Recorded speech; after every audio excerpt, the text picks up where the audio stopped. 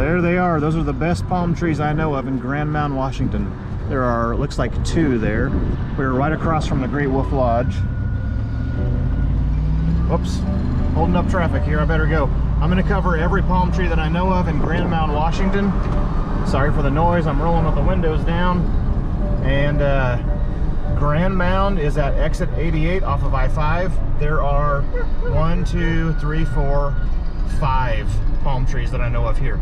I hope that changes. This video is just for documentation. This is hopefully 20 years from now, someone's gonna watch this video and they're gonna reply back and say, man, there's palm trees everywhere here.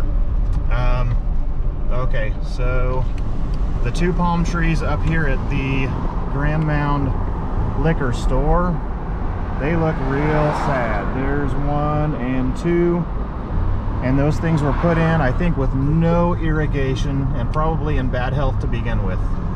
So that's at the Grand Mound liquor store. The first pair that I looked at, that was right across from the Grand Mound Lodge. And uh, the next, the last remaining palm tree that I know of in Grand Mound is up on the north side of Highway 12. If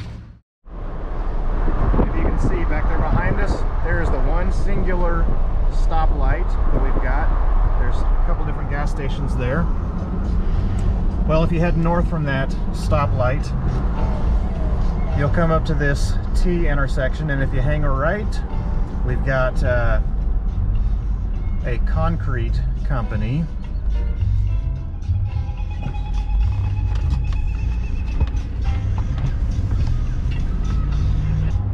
Conco.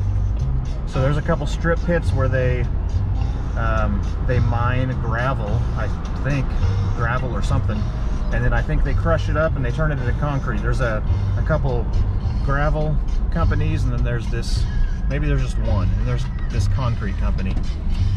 But if you go past the concrete company, hang a left, I guess you can only go left there, unless you go down that person's driveway.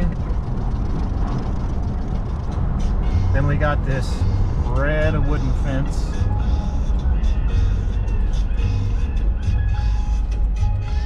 maybe. Maybe shouldn't go down here? I don't know. But this is where the last palm tree is. There's only five. Oh look there's two three four. They got four palm trees here. Cool man. I'm glad I came down here. That makes oh there's five palm trees. Cool man. These don't look that healthy. The first one doesn't anyway place, though. You can see them there. That one up there doesn't look real happy. All right, I'm gonna get out of here before someone calls the cops on me for video on their property. But before I was planning to move, I had this plan. I was gonna open a palm tree business, a nursery here in Grand Mound, Washington. So I care about palms in my area just because I like them. I also, um, man, I really wanted to open this big booming palm business. I had this awesome idea. I'll probably tell you all about it in a different video though. The idea was freaking sick.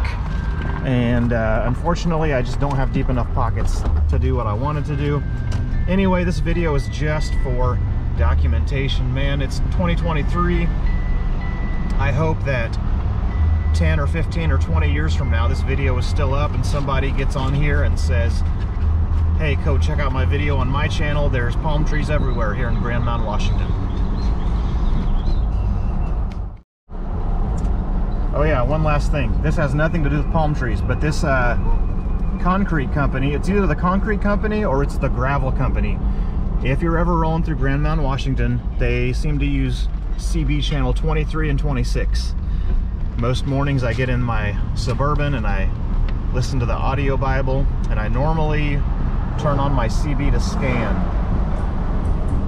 And it will normally pick up 23 or 26 and it'll be these dudes talking about where they're gonna drop their their load of gravel or whatever it is. So just kind of fun. I don't mess with people who are using their CBs for work but kind of fun to listen to them and see what they're talking about